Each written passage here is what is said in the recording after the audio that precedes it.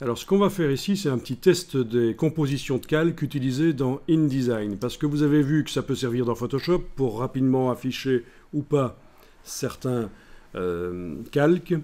Ça peut servir pour envoyer un PDF euh, avec différentes versions pour discuter avec le client à distance éventuellement.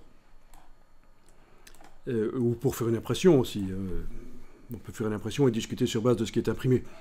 Et ça peut servir aussi dans InDesign. Donc voilà, vous avez votre bestiole qui est là. On va coloriser rapidement de différentes manières. On va coloriser la scène. Vous allez euh, ajouter au-dessus de tout, hein, donc euh, c'est l'élément le, plus au-dessus qui est actuellement activé, c'est le groupe. Vous allez ajouter un calque de réglage de type teinte saturation. Avec teinte saturation, vous allez faire euh, différents tests ici. Euh, positionner le curseur teinte peut-être à l'extrême pour faire un négatif couleur. Donc les valeurs restent là, mais on fait un négatif sur les couleurs. C'est assez génial ça. Donc c'est une roue chromatique, on est à moins 180 degrés ici. On a complètement balancé les couleurs. Bon. Vous allez à nouveau mettre un autre calque de réglage. On pourrait dupliquer celui-là et le modifier aussi. Mais voilà, teinte saturation. Il faut que j'enlève l'œil en face du premier, c'est important. Voilà. Et je travaille sur le second. Et là, je vais balancer les couleurs, mais à moitié dans un sens.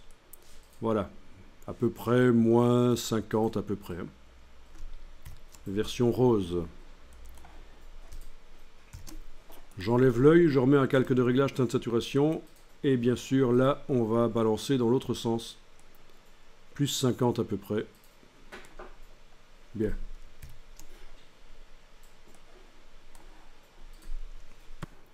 Ok, j'enlève l'œil en face de teinte saturation. J'ajoute à nouveau un, un calque. Mais celui-là va me servir à transformer en gris. Donc, saturation moins 100. À nouveau, un calque de réglage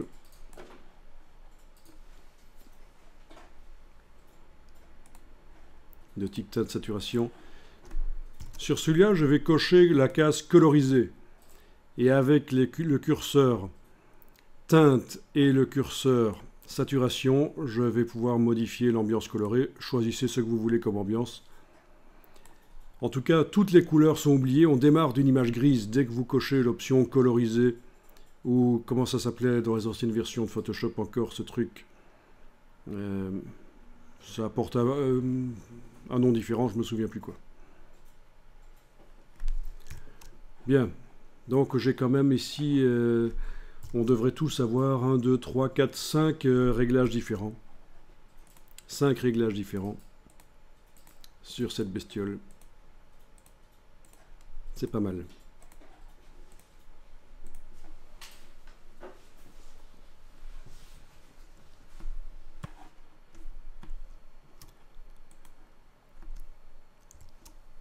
Ok, alors.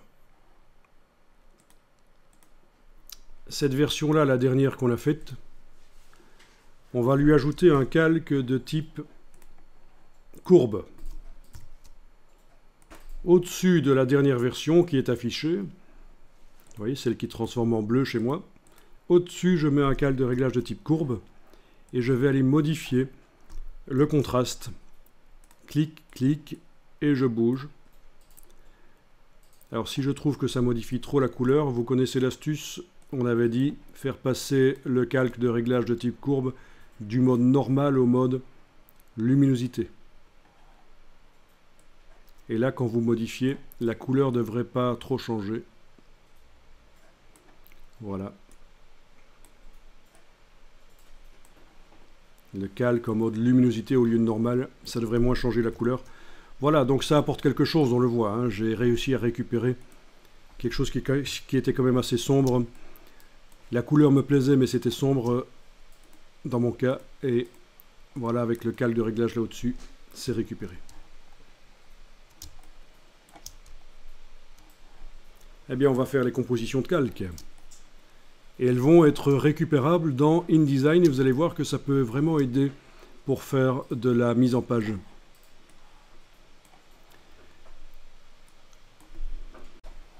Donc on y va. Euh, eh ben je vais afficher. Regardez, je, vais faire, euh, je vais faire le truc ici.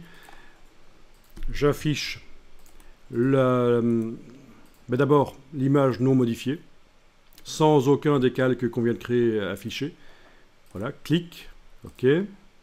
Ensuite, je vais afficher la première modification, clic, OK.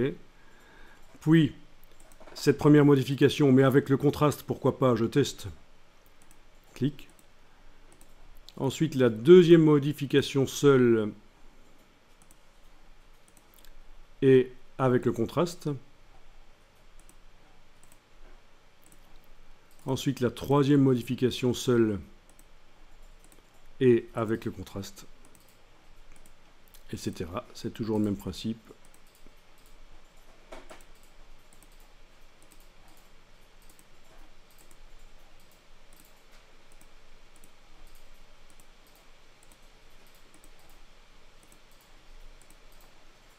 Voilà. Bon, finalement, j'ai 11 compositions de calque. Vous voyez l'intérêt, hein? C'est que si je veux comparer maintenant, dans, Photoshop, je parle même pas de InDesign, mais dans Photoshop, si je veux comparer, je passe de l'une à l'autre. Tiens, je me dis, euh, tiens, celle-là, c'est pas mal, mais avec, euh, avec ou sans le contraste? Et celle-là, avec ou sans le contraste? Et si je compare celle-là avec celle-là? Ou celle-là avec celle-là? Enfin voilà, on peut vraiment passer de l'une à l'autre euh, rapidement et comparer. Et discuter même euh, avec le client à côté de soi s'il faut, mais euh, bon, ça c'est toujours controversé. Hein. Laisser le client donner son avis, c'est parfois casse-gueule. Ça dépend à qui on parle. Ok, en tout cas voilà, on a plein de compositions de calques. On va enregistrer l'image euh, au format Photoshop sous un certain nom et on va l'utiliser dans InDesign.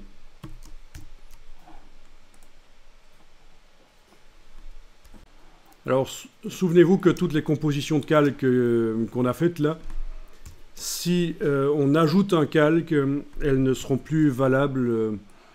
si on ajoute le moindre calque dans la palette des calques, elles ne seront plus valables.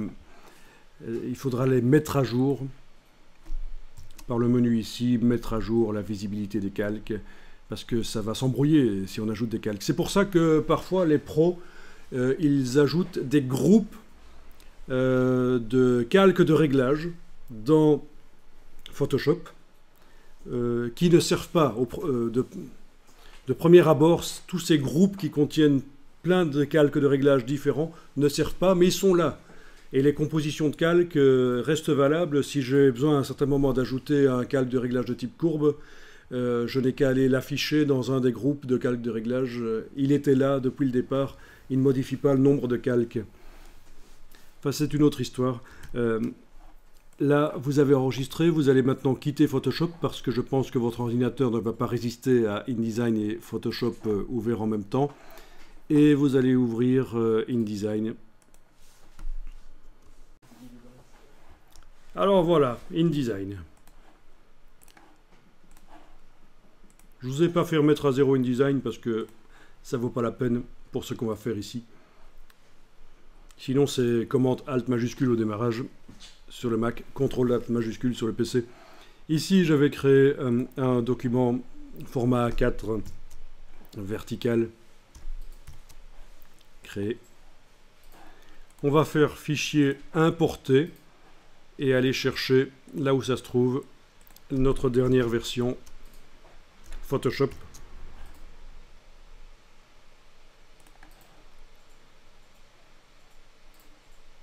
Ah oui, tiens, il me met justement. Vous souvenez que tout à l'heure j'ai été décoché la compatibilité maximale. Bon, on va quand même l'importer, on va voir ce que ça donne. Vous faites un clic et glisser parce que si on fait un clic, euh, Ouais, ça va, elle n'est pas grande là. Mais un clic et glisser, ça vous permet de déterminer la dimension. Et alors, dans InDesign, on peut retrouver les compositions de calque euh, qui sont dans cette image Photoshop. Donc, euh, vous avez menu Objet. Elle est bien sélectionnée, votre image? Menu Objet. Option de calque d'objet. Ce que vous avez ici, c'est la liste des calques vous pourriez manuellement en afficher et en désafficher certains. Mais vous avez aussi, ici, toutes vos compositions de calques que vous avez créées. Alors je vais cocher la case aperçue. Comme ça, on va voir directement derrière ce que ça donne. Voilà, composition de calque 1, 2. Alors c'est pixelisé, bien sûr, parce que dans InDesign, on n'a pas demandé d'afficher en, en haute performance. 3, etc. On aurait pu les renommer aussi, les compositions de calque, hein, pour que, savoir à quoi ça correspond. Hein. Les, couleurs, euh, les contrastes. Parce que là, c'est assez impersonnel. Bon, c'est pas génial, ça? Voilà. Composition de calque, et on choisit laquelle nous intéresse.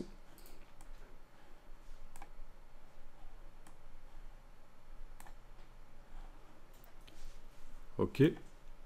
Voilà. Ah oui, voilà, maintenant, c'est un peu mieux au niveau de l'affichage. Ah, on était déjà en affichage de qualité supérieure, mais il a pixelisé le temps qu'on choisisse les compositions de calque dans Objet, Option de calque d'objet. Oui, le temps qu'on choisisse, il pixelise l'image, pour que ce soit plus rapide.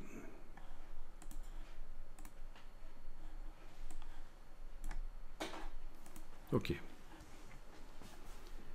alors, ce qui peut être intéressant, c'est ceci, c'est que vous avez la possibilité d'avoir l'image en différentes euh, versions dans le document InDesign. Je vous montre, c'est facile, vous avez compris de façon.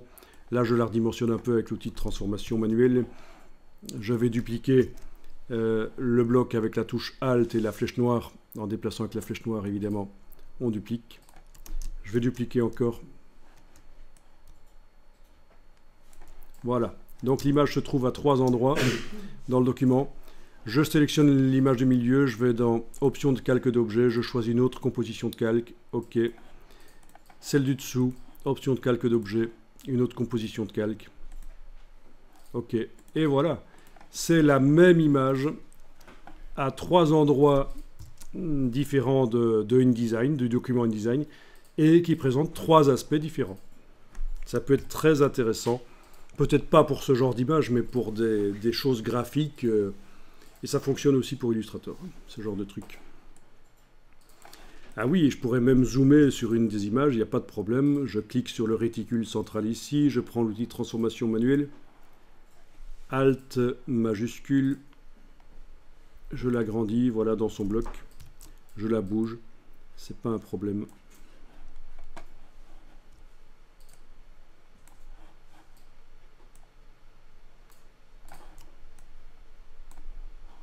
Voilà. Vous pouvez faire une petite mise en scène, quoi.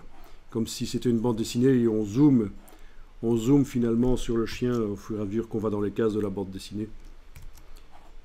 Comment faire des documents euh, variés dans InDesign alors qu'on dispose de peu d'images? Ça peut être intéressant aussi, ça. Hein. Vous avez peu d'images à votre disposition.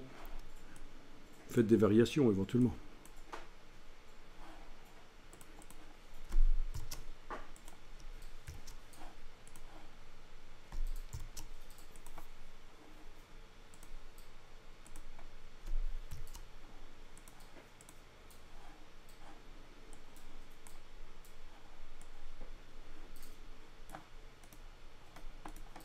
Ok. Je vais l'enregistrer dans le dossier. Voilà.